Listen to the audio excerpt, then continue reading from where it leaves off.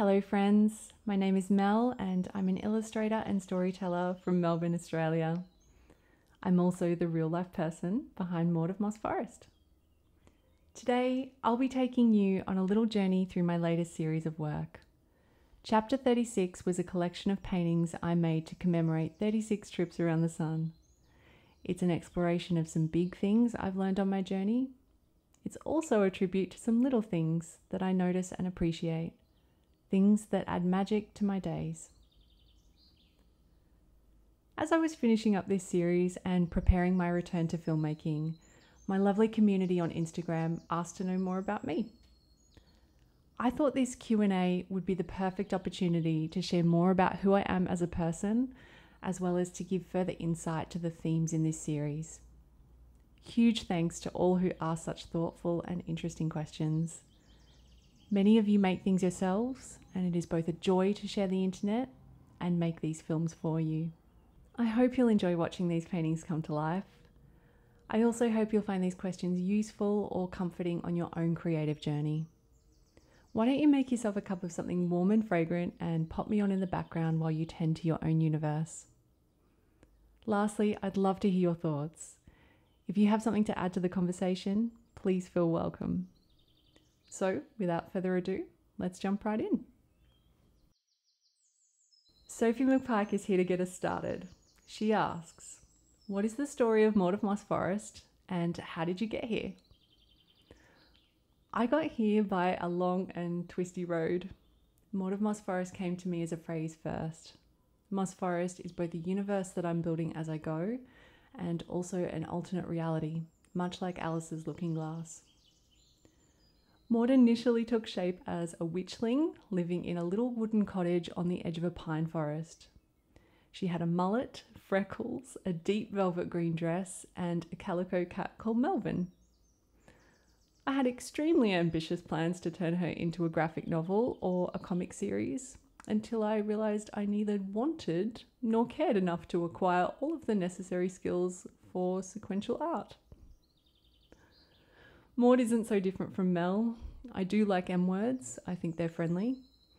I'm fond of words in general. Stopping by Woods on a Snowy Evening by Robert Frost never fails to make me shiver. It's because of him I'm obsessed with the way words sound. I write to pay homage to writers who, with nothing more than words, can take us somewhere else entirely. Of all M names, Maud, because of the way she sounds when spoken aloud, the soft and sleepy M, the dull D at the end, a single syllable name. Say it in a forest softly enough, you might not hear it. Maud because it recalls a certain Lucy Maud, creator of an Anne who lived in her head. Maud for fond memories of Mildred Hubble's loyal best friend in The Worst Witch. In many ways, Maud is me because I've never been very good at creating things I don't care deeply about. Maud is also a little bit of each of us.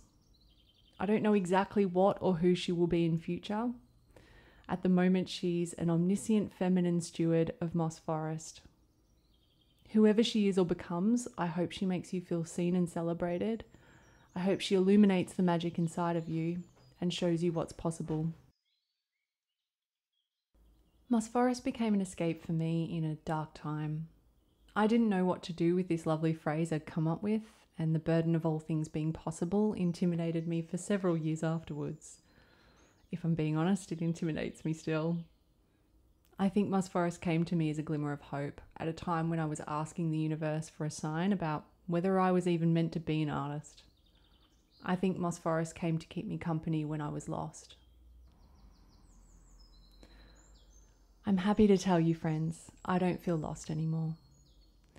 Now I treat what I don't know as a puzzle.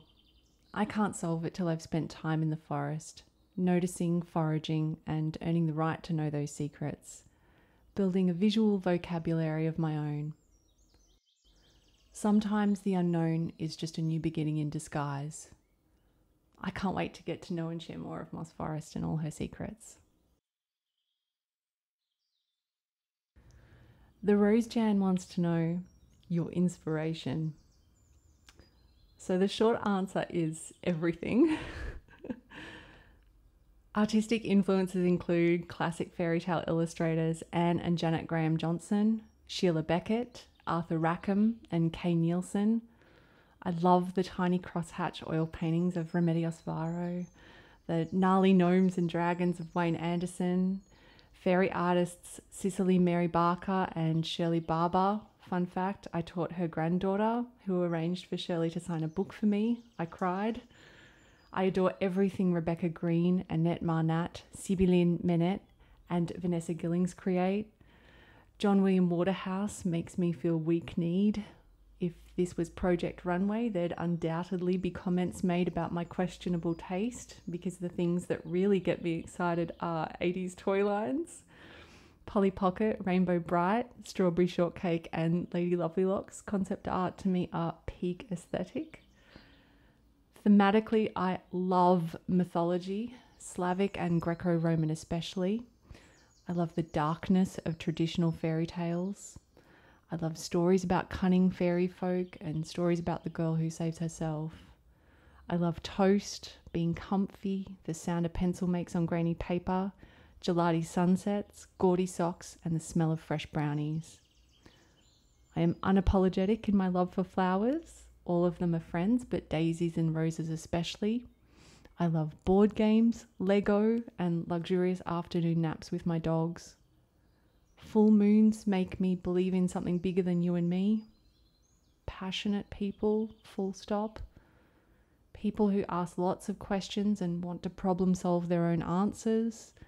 The history of objects, the thrill of thrift shopping, of getting lost in books, of being awake very early in the morning when the rest of the world is asleep.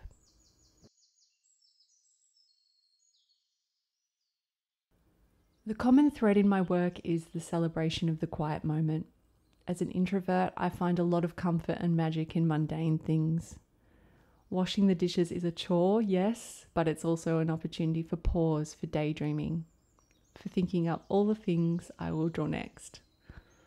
Is it an epic battle between pirate ships? A storm brought on by siren song? Everything can be the kernel of something if we're willing to look for it. Do it often enough, and nothing ordinary is boring anymore.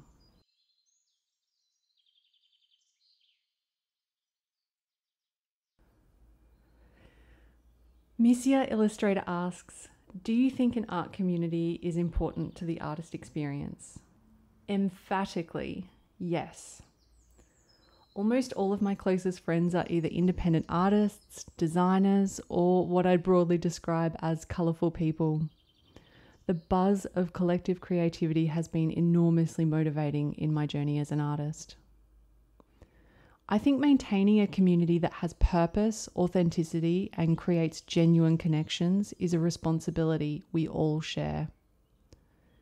In my experience, what we get out of our community is very much a result of what and how we put in. Sometimes the most powerful thing we can do is create the work we're meant to create and be an example. I think being surrounded by other passionate creators is a power we can harness to motivate and inspire us. Others' success shows there's room for me too. It means I have intelligent and accomplished people to inspire me and collaborate with. These ideas are best expressed by Ann Friedman and Aminatou Sow in their development of shine theory that I don't shine if you don't shine. I'll pop a link in the show notes if you fancy a tumble down the rabbit hole. I think being a productive part of a community means parting with a degree of vanity. Attentive listening is a skill we can always work on. Putting aside our own need for approval or attention, asking thoughtful questions of each other, actually listening, and doing our best not to center ourselves in every response. Most humans are equal parts ego and equal parts just wanting to know that they're loved and accepted. It's cool to be curious and it's cool to be kind. I actively spend time reaching out to others whose work I admire, and I think a willingness to be open to offer something useful or kind before asking for their company or actively seeking their friendship has served me well. In a world of instant gratification, time is our most valuable currency. Realizing that my time is no more or less valuable than another's has allowed me to move through the world with more generosity and confidence. Expressing love or admiration for something someone has made is incredibly brave, and whatever your best words are for expressing that, if you do that for others and mean it, I think that's really cool.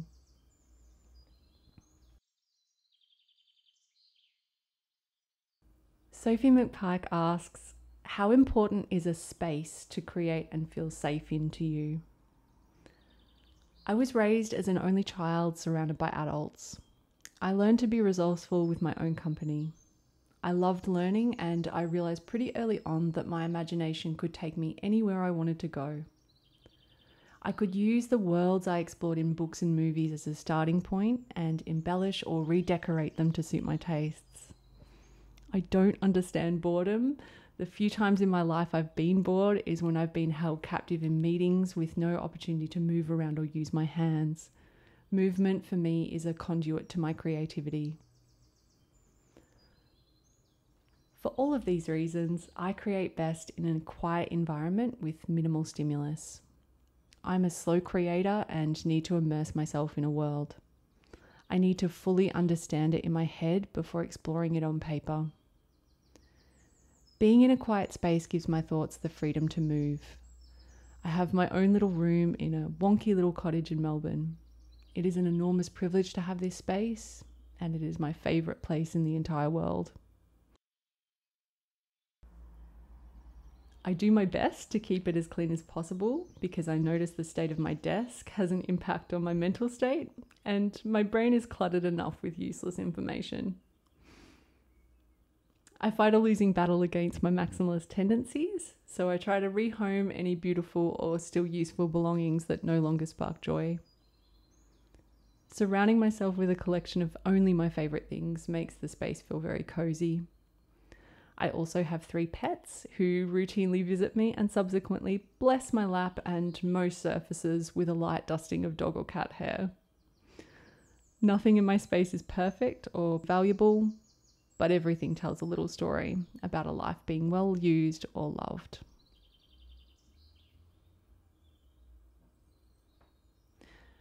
The next questions are all general questions about career pathways, tools, and techniques, and I wanted to pop in a gentle disclaimer before I answer them. Firstly, I'm grateful you trust me and my opinion enough to ask. In fairness to you, my friends, I want to be clear about how I mean to move this channel forward. I'm reticent to imply I'm any kind of authority on the ways and means art can be made. I was an art teacher for 10 years, and it is a full time pursuit, being a responsible and compassionate steward for the learning of others. When I was teaching, I had to put my own creativity on the back burner. I'm enormously proud of the work we did together, my students and I, and they have inspired me in ways they will probably never know. Now I'm at a new chapter in my journey, and Moss Forest needs my full attention. For this reason, my films will always prioritize storytelling within this universe. I choose now to teach by example. If you take anything away from my videos, I hope it is a sense of curiosity and inspiration for your own work and accompanying research. There are already many excellent creators whose focus it is to responsibly test or review products and show step by step processes, and I'd recommend spending time researching them. I'll pop a few of my faves in the show notes as a starting point for you. Next, Sarah Connor Ceramics wants a supply haul or showing your fave art supplies. Coraline Caroline also wants to know more about stuff like your fave papers. I love all of my art materials. They remind me that art is artifice, it's all made up, and therefore we can make anything we want. I've taken time to really commit to specific materials, to write out and problem solve the particular challenges associated with them, to play them in such a way that they sing for me and my skill set most harmoniously. I choose these because they are so quietly and deliciously tactile. They connect me to the physical world and remind me that I am human. I want to make very clear that none of these materials makes me necessarily a better artist, though they do enhance my experience. Any art supplies I use on a YouTube film are always listed in the show notes. If you're ever watching one of my videos and it's not immediately obvious, go check there. Here's a brief rundown to get you started on your own research. Caran d'Ache are my favourite colour pencils. They are oil based, buttery soft, have excellent colour payoff, and are light fast. I also use Faber Castell Polychromos pencils. These are less soft than the Pablos, and I tend to use them mostly for top layers and more graphic elements. I love the painterly look of wet mediums, but mixing is not a skill I have or care to improve. I use Copic alcohol markers in ready-made colours to achieve a soft washy underpainting Having this sit under colour pencil work also knocks back some of the grainy texture of the pencil and the paper. The Fabriano Accademia drawing and watercolour pad in 240 GSM is my favourite paper. This weight and grain can withstand some of the punishment from the pencils, and the texture and subsequent appearance feels very much like a vintage book. This helps me achieve a nostalgic mood in my work. Everything I create with is intentional for two reasons. It sparks joy and a continuing enthusiasm to keep making art with those mediums, and or it has a look that fits my brand and my messaging. For full transparency, all of the materials I use are on the expensive end of the spectrum. I bought most of my bigger sets when I had more expendable income on a full time teacher's wage. Not everyone has this sort of budget available to them. My very broad advice is buy the best you can afford, but please not before you've read multiple reviews and tested them out yourself. As a general indicator of whether a medium is worth your money, student grade in painting and drawing supplies means the binders that hold the pigments together are weaker. As a result, you'll generally have to work harder to get consistent results from them. They also won't have the archival properties of artist grade materials, for example, light fastness. If you do have some money to spend on art supplies, there's a wealth of written reviews on places like Amazon, as well as comparative YouTube reviews. Read and watch them, but buy from local independent stores. Before committing to full sets of things, invest first in two or three in your favourite colours. This will teach you to get more out of less. You can develop stronger palettes that way, and you can see if that art material is really suited to you and the way you make your best art before investing. Again, on YouTube especially, please don't fall victim to consumer culture. Anything that implies you need particular pens to make the best art is elitist and unimaginative. Before buying anything, be resourceful and use what is available to you. I've made some of my best artwork with a humble biro on copier paper. Sometimes more stuff can be an unnecessary distraction when what we really need to focus on is skill acquisition and learning the fundamentals.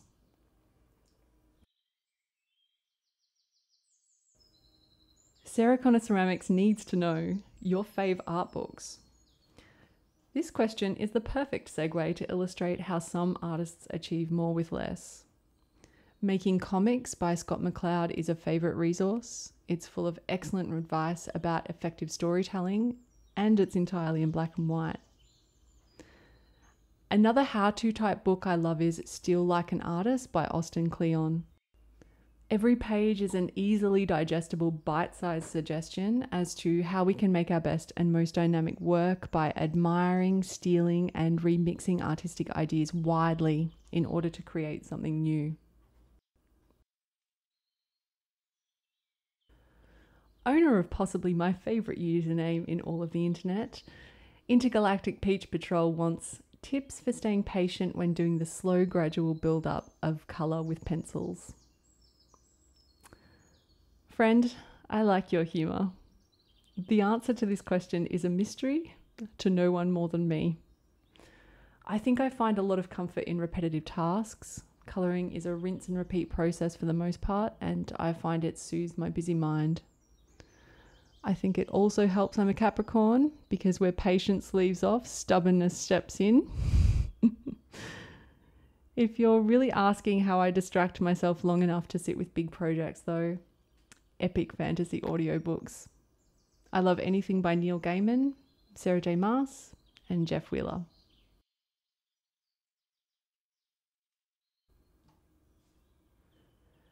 Next, Kerry Tutt asks, How do you make such cool texture and skin tones? I can't neatly answer this because the how is always related to the why. I could theoretically make skin tones entirely out of blues, and I did once, but it doesn't suit the aesthetic that best expresses my messages. My favorite palettes tend to use lots of reds and greens because I love the vibration of those colors against each other because green makes me feel connected to growing things, because green is the color of magic, because red is the color we are inside, because of John William Waterhouse, because of Arthur Rackham. And because of all of those things first, I mostly choose skin tones with a red bias. Texture is very largely dictated by the mediums I choose to draw with. I deliberately choose lightly textured papers reminiscent of vintage art books with separate colour plates I think this appeal to our tactile nature more easily transports my audience to a fantastical place and therefore more successfully emphasizes the stories I'm telling. Fellow colour pencil enthusiast The Rosejan asks, tips and tricks for colouring really good? And Trin loves all the things Trin loves. Also wants to know, what pencils do you use? The colours are just so magical.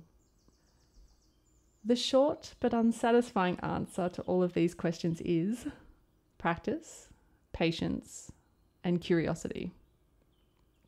There's no substitute for learning the fundamentals. These can be learned in any way that's accessible to you, but you do need to learn them. Pay attention to the ways the light bulb in your brain glows brightest when you're learning, and try to seek out or replicate those learning environments for yourself wherever possible. For example, I am weak at lighting, and I'm weak at lighting because I cannot sit with instructional resources long enough to force myself to learn that way.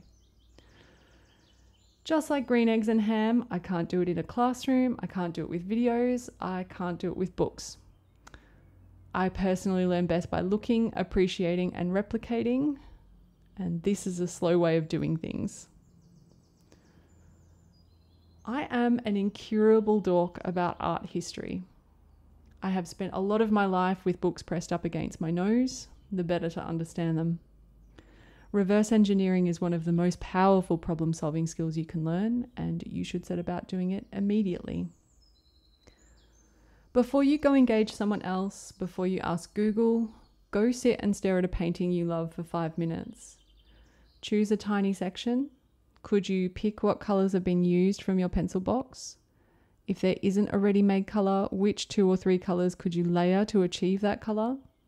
Time yourself if you need to, but training yourself to sit and mentally recreate that picture is very powerful. Sit with it. Now, go test some of your theories about layering those colors. Do lots of swatches. Give yourself a set amount of time, maybe an hour, to copy that section of the painting at a small scale, maybe seven centimeters by seven centimeters. This is just one of the many exercises I've used to teach myself. Whenever I see something I like, I set about trying to replicate that. I've said before, I'm incurably curious, and I find nothing more satisfying than finding things out for myself. I also watch and rewatch copious amounts of YouTube tutorials, often with the sound off. I use my observational skills to closely watch what the artist is doing, and you can absolutely do the same thing with my videos. Papa Surprise wants me to share what's your most valuable thing you've learned as an artist? I am a person who needs a certain amount of structure and pressure to thrive. Without that anchor, I will daydream my life away. Left to my own devices, I am a perfectionist. This is the face my anxiety wears. Without time constraints or clear goals, I don't truly challenge my potential. I think I avoid sitting with feelings of discomfort when I compare an imperfect reality to the perfect vision I have for my art. It took me many years to understand that my perfectionism can be a form of procrastination, and that, more than imperfect work, holds me back. The most valuable things I've learned as an artist is that it's nobody else's responsibility to save me, discover me, teach me, or do the hard work for me. That I'm not the main character in everybody else's story. That doesn't mean I don't deserve a seat at the table, just that, like everyone else, it's my job to build the chair I sit in. These have been hard lessons to learn in the process of becoming. You know that meme about two ways to look at life, and in both scenarios, nobody gives a heck? Embracing the idea that nobody is paying attention has been liberating for me. It has allowed me the space to ask, what do I really want to leave behind when my meat suit has returned to stardust again? I know that sounds grim, but for a mind that's always busy with equal amounts of possibilities and self doubt, this is how I was best able to put what I really wanted into perspective. It allows me to prioritize, to put aside extraneous stuff, to slow down a toxic cycle of self sabotage, to set realistic goals and make thoughtful plans to achieve them.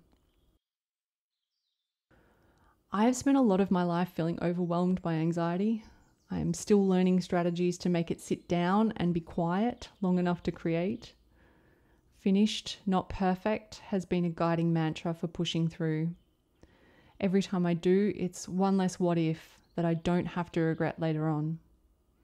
I'd so much rather challenge myself to do hard things and fail or find out that they're not for me than to never try and not know.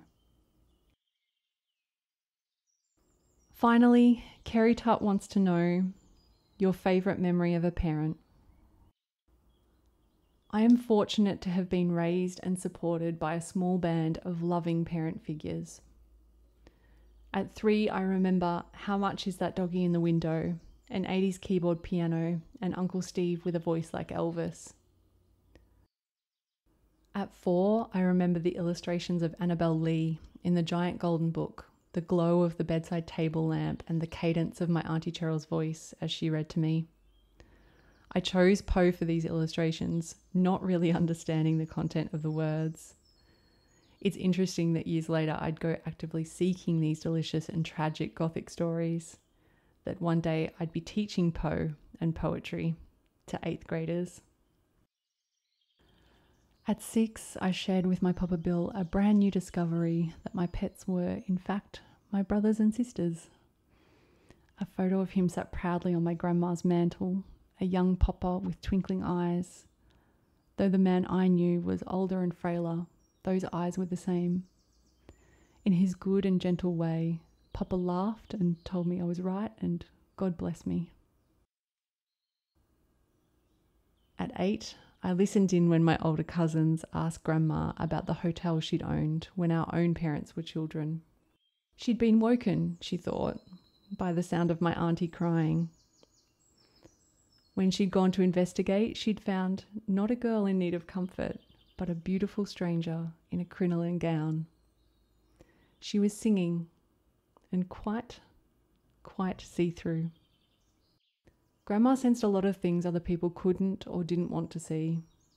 Though these stories kept me from sleep myself, I'd still ask to hear them. I learned young the thrill of a delicious shiver. Various ghosts have visited the women on that side of the family, and as everyone always told me how much I looked like grandma, I'd be both thrilled and terrified to have inherited this family trait too. I think the ghosts stay away because I ask them to. I would, however, love a visit from grandma. I remember so many things about my grandma, and I only miss her more keenly as time goes on. I remember the dry tickle of her nails on my back, me at her feet, and her watching telly in her comfy armchair behind me.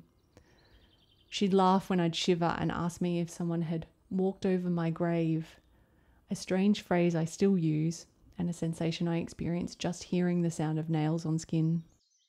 When I look down at my own hands now, I see her hands. I remember the stories Grandma told of rolling Jaffas down the aisle of the old wooden cinema. Auntie Dulcie was her best friend and co conspirator in this tomfoolery. Auntie would throw her head back and cackle, reenacting the surprise of fellow patrons caught in the crossfire of their loo roll missiles in the bathroom. Auntie Dulcie referred to Grandma as rare, and it was a running joke in the family that it was spelled R E A R. Grandma was happy to be the butt of jokes if it meant making people laugh. I remember the crystal that hung in her farmhouse kitchen and all the little rainbows it threw in the morning sun.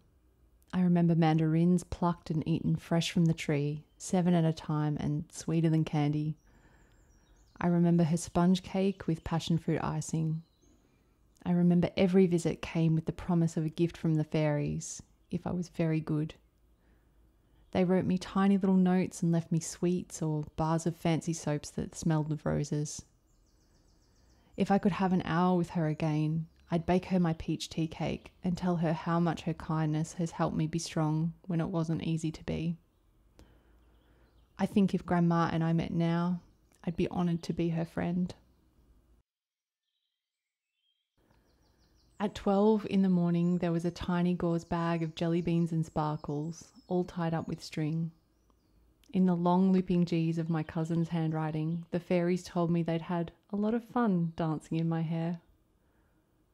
Kylie was everything I wanted to be when I grew up beautiful, creative, independent. She's still everything I want to be when I grow up. She was the bright light in my school holidays. I remember going to the cinemas and choc tops and popcorn. I remember Monday nights and roast beef and watching friends. Now that I'm meant to be a grown up too, she's not just family. She's the friend I'd choose anyway.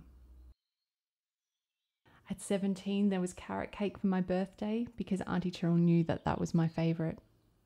There was the cafe once the weekly grocery shop was done, ham and cheese muffins with impossibly yellow butter, and frothy cappuccinos, very grown up. We would laugh about my indignation as a four year old that Auntie refused to share her froth with me. And every year since, never a day late, there's always a card waiting for her girl on my birthday, accompanied by a very generous dollar note and firm instructions that I treat myself. When I'm cheeky, which I frequently am as an adult where I'd not have dared as a child, she cuts her eyes at me and calls me Melissa, like it's a curse word. Sometimes I'll pretend to have learned my lesson. I probably shouldn't stir the pot, but she always bites, and I'm only a little ashamed to say I'm quite proud to have contributed to the silver hairs on her head. I love you, Auntie. I am myself because of these wonderful men and women. It's for them that I share these stories. I hope I've imparted to you how good these people are, how a creative life can be shaped by perspective and by the way we tell our stories. Thank you so much for joining me today, friends. I wish you light on your path and the belief in impossible things. See you soon.